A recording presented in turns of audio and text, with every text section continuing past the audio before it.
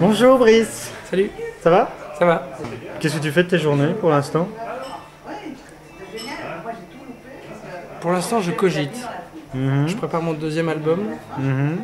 je fais de la musique, je règle des choses administratives et financières. Et euh, tu espères quoi de, de ce deuxième album? Euh, bah, J'espère que ça va aller. quoi. Le fait de préparer un disque, c'est vraiment de préparer à ma. C'est comme quand on prépare une fête, quoi.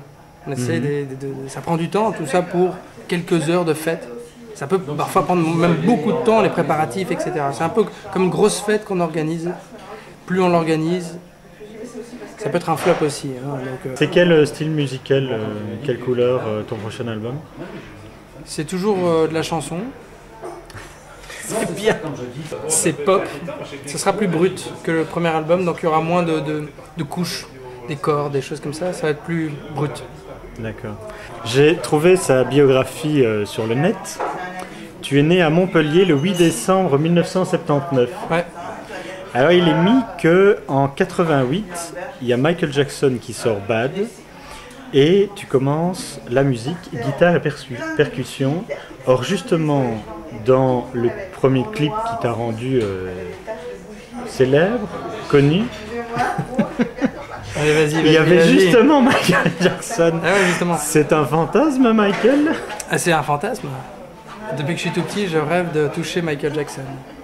J'adore. Non. Sérieusement. Tu voulais lui rendre hommage dans ce clip Ben, euh, rendre hommage, c'est- c'est un concours de circonstances. C'est difficile d'illustrer euh, un refrain qui dit Comment te dire, je t'aime, moi, je suis gêné? Et j'imaginais un striptease à l'envers. C'est-à-dire que je commence nu et je m'habille. Mais je vais m'habiller en quoi? En jeans En quoi? En moi-même C'est inintéressant. Et je me suis dit Michael, d'emballe.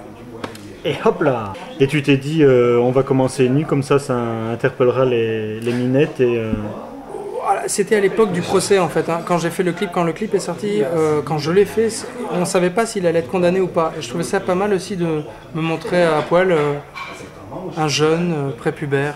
Voilà, bon, c'était marrant. Hein. C'est tout. Ouais, puis bon, c'est un petit côté vicieux quoi. Bon, alors euh, parlons du vice de Brice. Non, bon, d'accord. Restons au fond des choses.